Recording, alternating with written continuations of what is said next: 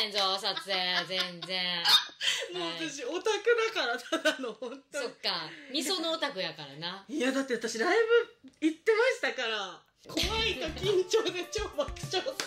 いや怖いからなんか爆笑してるみたいな。やめて。やばい違う違う。緊緊張との方。可愛い。いやあと映ってないからはいもう近い。いやいやいや近づいてるいからいや臭くないからお尻に汗かくもんだってなんでやねんいやちょっとちっちゃいえー、いいぜでもほらほら見苦しいそうじゃあこのみそんチャンネル使わせていただきますこのリアクションしんどいいや可愛い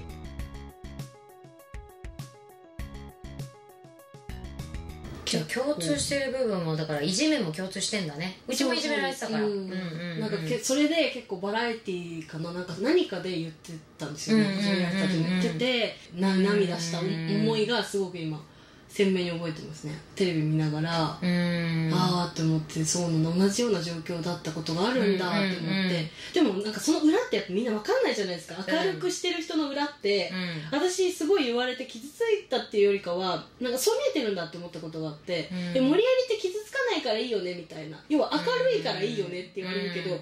別に作ってるわけでもないんですよ本当に、うんなんか字がこれだからこそ辛いんですよ。こういう性格だから余計にいじめられてもなんか涙したいけど泣けないしなんか悔しいし、うん。どこがダメなんだろうって思ってもやっぱいじめられてるからそれに負けたくなくて、うん。そうだから自分で居場所を作ろうと思って、うん。だから芸能界に自分で居場所を作ってみたいな感じで。まあ這い上がってるからやろなくじけては落ち込むし泣いてんねんけどうん。でもやっぱりやってみようってうん。やっちゃってるから強いと思われんだろうな。うちもそうやもん。ももう全然バッシングとか気にしてないって思われてるから。え？本当ですか？いやめっちゃ気にすんのに。なんかわかんない。過去のみそのさんからこう見てるとすごくナイーブなイメージですよ私。やろ？だから、うんうん。本当のファンは分かってくれてんだけど、うん。わざと炎上させてるやろ？とか、そのバッシングも気にしへんもううちはうちやからってえー。言ってそうみたいな、えー、全然なんかイメージじゃないですね。いやそうやね、うちはもうあなたたちの言葉に浮き沈みもされるし左右もされるんだよっていうのを、んでも叩いても叩いてもへこたれへん。うんイメージらしいうちも、ああそれはいい意味ですけど、うん。強い人って思ったことはないです。なんかこう頑張って努力してる人その兄弟って姉妹っていうんですか？努力はしてない。いやめっちゃ努お力してると思う。姉ちゃんは努力の塊よ。いやあのみそのはもう本当に 持って生まれたもの。いやもうでももう、もう顔、えー、声。うん。だから例えば努力してる人って歌で言うとボイトレに通ってるし発声練習したりする、ううんちはもうボイトレにも通ってない。発声練習もしてない、うん。暖房もつけっぱなし。ああそうね。喉にいいこと一切してない。ね。うん。本当におかんおとんが美男美女なんでいやー。もう否定はしない。親を否定すると思うんで否定はしないですけどやっぱり顔の小ささとまつげの長さと目の大きさとえ自末ですかこれ？自まつげめっちゃ長っ。そうやばい。すごい恵まれてるわけよ。だから宝の持ち腐れってよく言われんねんけどさ持って生まれたもんが良すぎて同じぐらいからデビューしてるような感じの感覚？だから1316で、だからやっぱり努力してるんだろうなって思ってたんだと思いますだから16で作詞したんじゃないですかあれって。まあそうね。17でデビューすんねんけど16から準備期間が始まってたから。だからそれがすごいなと思ってたんですよね。あの作詞をうん。なんか16でするってで私も10歳からうん。なんかいろいろ思うことやっぱいじめられてうん。思うこともいっぱいあったんで詩とかを書いててで自分で陶芸者とか文芸者とかずうずうしくめっちゃ送ってたら共同出版しましょうとかっていう話もなったんですけどいやただすごい。なんか多分だから今だからはって今できないそんななんかずず仕事若い時だから子供だったから許されたけど。え大事。だってなんかやっぱみんな下積み聞いたら自分で電話したりとかね営業したり。ね。結構だからまあ飛び込みみたいな感じで今はでもまあちゃんとアポ取っていきますけど、うん。いやでもなんかすごい勇気だったなって思いながらもだから16であの詩を書けてるのは、やっぱいろんな経験をしないと詩って書けないしと思ってたんですよ。恋愛建物の時は経験一切書いてないよ。あの空想妄想。あそうなんですうねん。だってそれこそ経験少ないから理想の自分、うー。んうん、を描いてただけっていう私今日 CD 持ってきててネバーランドを聞いて多分毎日学校行ってたんでしょうねきっとその時、うん。えちょっと見てみてい。やちゃんと割れないようにアマゾンの袋にも入れてきちゃった。あのちゃんとプチプチがあるやつ聞くよう。でもうすごくないですか？もうなんかもう色あこっちは保存版なんでいや本人が触ってるよ。すごい。あこれで並べわかりたらわかるますかね？色はあせがはい。多分小学校の時にこっちを買ってこっちは初めてバイトしたそのバイト代っていうか、まあ、15の時に初めてお仕事もらってそのお金で買って保存版にしようと思ってだからこの袋も入れたままなんですけどでこれこれの？の中に入ってたメモがあってこれが書いてあって。あっって思って思い出しましたねなんか深い。そうこれを聞いてたんですよ。なんかずっでここに多分置いてあったからずっとこれを聞いて私が刺さってた部分って、うん。昨日今日明日の風が吹く幻にしないように、ネバーランドを胸に描いてずっと信じ続けてたっていう、うん。なんかそれを要は未来の自分が想像できてなかったんですよその当時って、うんいじめられてて学校も怖くなって、うん。人も怖くなってみたいな、うん。だけどまあでも昨日とか今日とか明日って結局別の日なんだっていうのをこれですごく小学生の時に多分感じてそう解釈してくれたんだみたいな感じだと思うんですよね、それだからなんか強くならないとって思ってこのメモをして。そうなんですメモって言ってもこの切れ端。そう。授業中にそうやってなんか回ってくるじゃないですか。切れ端みたいなやつ。うん。でそれが私以外の人にもこう回るんですよ、それがすごい嫌で自分がで多分ちぎってノートちぎって負けないって思いながらでこれを聞いて。毎日聞いてから行こう。いやこれメモにする必要あった？毎日聞いてから行行ここう行こうじゃなくて行こう。っていううんそう多分多分そっち。うだと思うんですよ「タタンタンタンタン」も聞いてましたし全部始めそうです。よようわーうわー。やばいルイさんが崩壊する。カレンとねカレンとでさっきはちょうどスピードライブ聞いてる時に来たからうわーと思ってめっちゃアクセルあじゃあソロもああ聞いあてくれてんや。もちろんもちろんこういうなんかリンゴとかも全然バーサスね。可愛かったです本当に。じゃあネバーランド歌いましょうか。えー、ちょっとなくなって本いやあのね前回もねマー君と猫っていう方がそうファンでもうアルバム曲で「リグレット」を選ばはってん。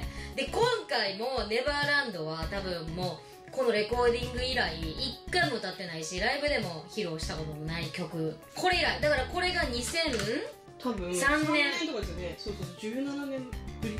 だからレコーディングって言ったら多分もっとそうですよね。前やなそうですよね、うん。だから多分1時間ぐらいしか歌ってないこの曲は。やば。人生において。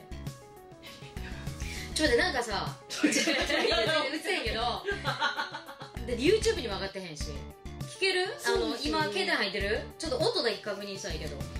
えやばい。ちょっと待ってこれ取れてるよねって。大丈あええ聞いてもやばいやばい。本当ですか？みんなさやっぱえ一一曲目なわけあもちろんもちろんこれも聞いてきました今日。私大好きだから、これ違うこの曲じゃない？あれ？これ何？あこれですよ。あこれだ。いやもう A メロとか B とか忘れてるわけ。えちょっと聞かして。オッケー。やばもう目飛び出そう。いいなやっべえって感じ。えー、やばい。ちょっと待ってもう一回やばいえ歌えるかな？歌える絶対歌える昨日今日たんだ全部幻にしないようにネバーランドワンデリエずっと信じ続けた東京に聞いたけどもう一度空見上げて黒いペンのどこに届くように願うよ溢れる涙こぼさずにかな？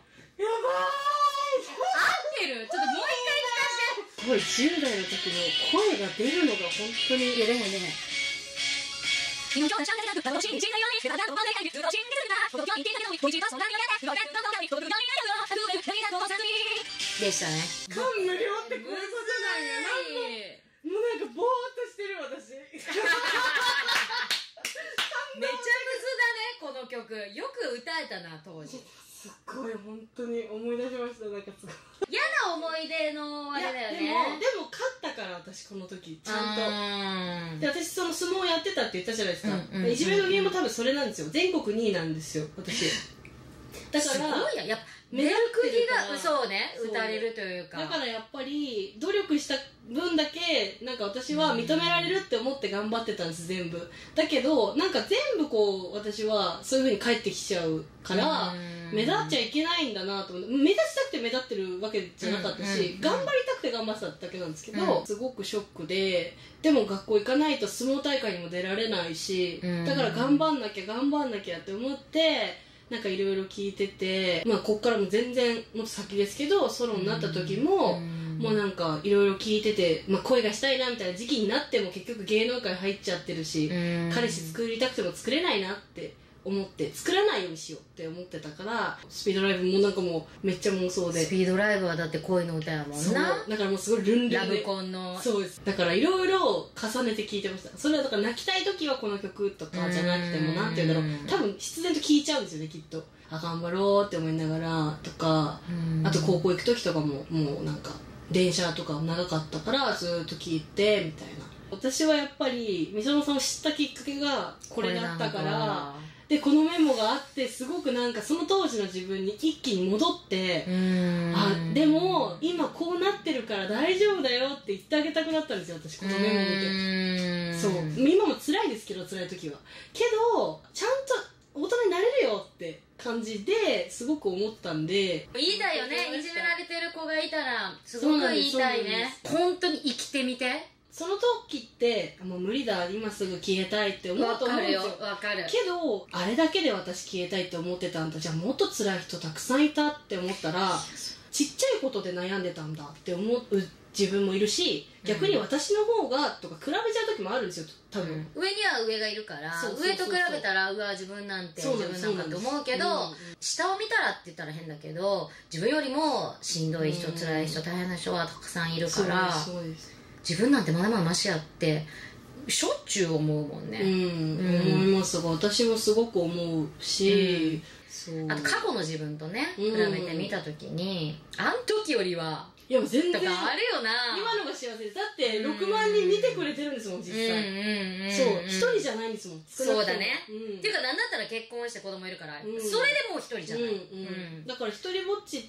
いうその自分の中のなんかコンプレックスみたいなのからもう抜け出せてるからだから私は今は満足っていうことじゃないけど、うん。もう過去より成長してるのかわからないですけど、うん。でも自分でちゃんと作ろうって思って決めたその13歳からの道を全うしてるから後悔は正直ないんですよね。売れても売れてなくてわもかる、うん。やりたいことをやりたい瞬間にやってるからなうちらは。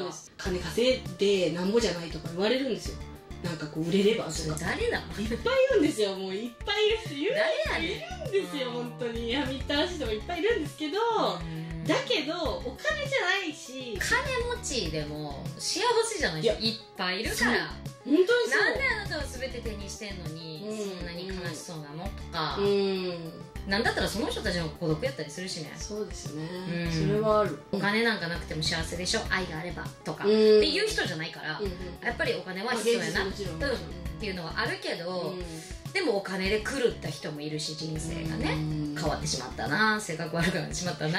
変わりますよね本当にね。お金で本当にいや本当にる変わりますよね。うん。まあ金というよりかなんかあれだよね。地位と名誉。そうそうそううんとか権利とかねあとお金もまあ大人とかもねうん。絡んでくるとそうそうそう悪い大人に染まっちゃったかもしれん。うん。その子が性格悪いというよりは。そうそうそう。うんだから、まあ、でも本当にそういう風になるってことはやっぱ地の性格なんでしょうねきっと。それが出てきた時はそういうことなのかなと思ってたけど。でもそう。さ芸能界は厳しいし汚い世界やからそ,、ね。こにいたら変わりたくなくてもうん。変わんなきゃってちょっと要はずる賢くならなあかんかったり。ううんんなんか合わせないとやっていけない部分も正直あるっちゃあるからそれはしょうがないっていうのもあるんですけどね、うん。確かに。ある意味とかいい意味でも強くなったし、うん。ちゃんと言われたらいい意味で言い返せるというか、まあ、それは同じレベルとかじすてうん。いや私はいいんですこうやってやってるんでっていう言い返し方をできるようになったし言い回しも覚えたから、うん。全然